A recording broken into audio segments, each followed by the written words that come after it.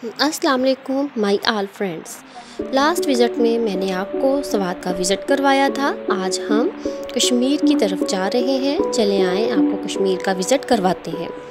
सबसे पहले हम ये तहसील ढोल कश्मीर की तरफ़ जा रहे हैं। ये तहसील ढोल का एक व्यू है। कश्मीर, आज़ाद कश्मीर, जन्नत नज़ीर वादी के नाम से भी जाना जाता है। पाकिस्तान में ये एक बहुत ही खूबसूरत जगह है।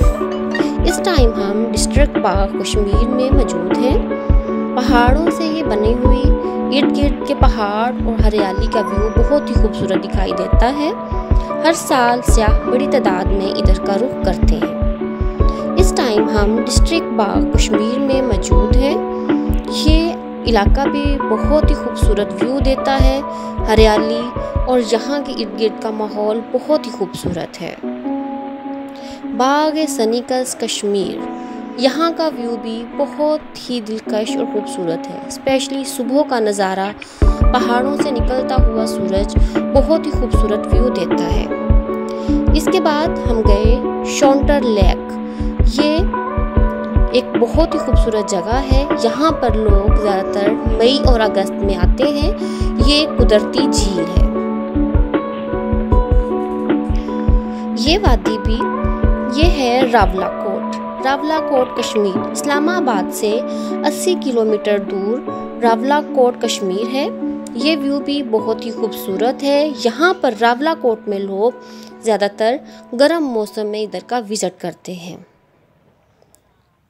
रावला कोट इस्लामाबाद के नज़दीक है, इसलिए यहाँ पर लोग बहुत ज़्यादा विज़िट करते हैं और यहाँ के लोग बहुत ही खुश अखलाक और बहुत ही खिदमत करने वाले हैं।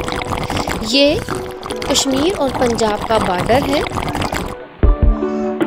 ये भी कश्मीर ही का एक व्यू है, जो कि नदी की तरह पानी पहाड़ों में से आता हुआ एक नदी बनी हुई है। बहुत ही खूबसूरत कश्मीर का ये एक व्यू है। इसके बाद हमने दोबारा स्वात की तरफ़ अपना विज़िट शुरू किया और हम वापस स्वात की तरफ़ आए।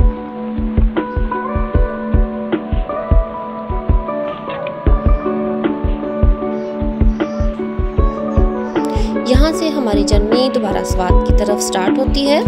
हम दोबारा स्वाद की तरफ़ आए। हमारा ये विज़िट कुछ चार से पाँच दिन का विज़िट था, जिसमें मैंने आपके लिए बहुत ही खूबसूरत क्लिप को चूज़ किया और आपके साथ शेयर किया। यहाँ का होटल जिसमें हमने पहले भी मैं आपके साथ शेयर कर चुकी हूँ, आप इसको प्लीज़ इंजॉय कीजिए।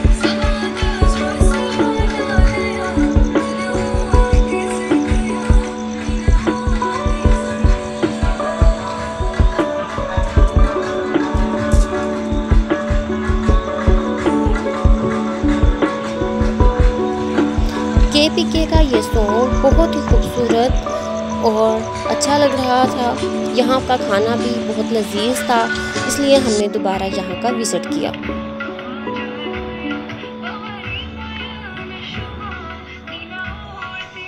इसके बाद हम खैबर पख्तूनख्वा पहुँचे।